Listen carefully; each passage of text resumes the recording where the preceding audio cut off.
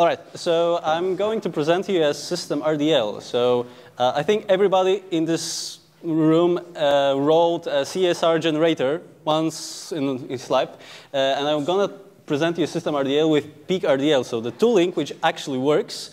Uh, so uh, Accellera uh, opened system RDL as an open standard for um, generation of registered, uh, register files.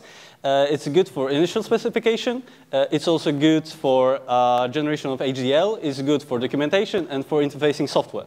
Uh, so it describes register mask fields and like all the things you want including some behavior. It's not always perfect in terms of uh, support in, in uh, uh, like generators and stuff, but it's there in, in, the specification.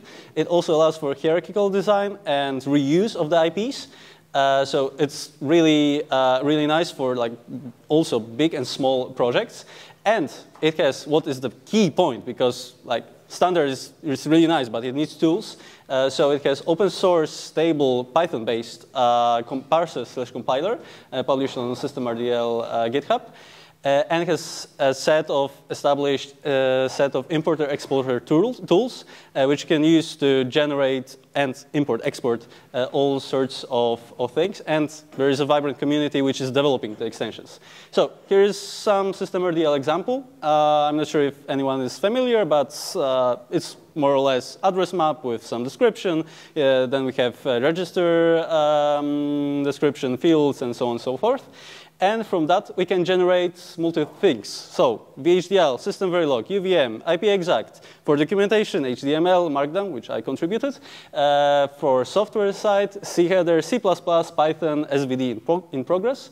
So basically anything you really want, uh, or if you have something else, uh, you can add it.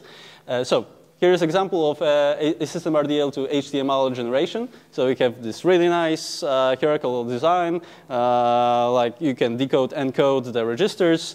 Uh, look what's what's inside. There's also enum support, so you can like really nicely debug some some things. Uh, so bonus.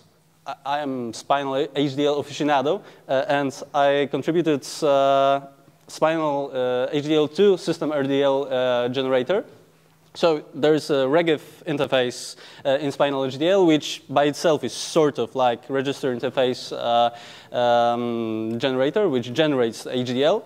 But you can use it to generate system RDL. So if you have mixed cores in your system, so for example, you have system, uh, sorry, um, Spinal HDL cores and some other, uh, you can generate it uh, like this, and that's it.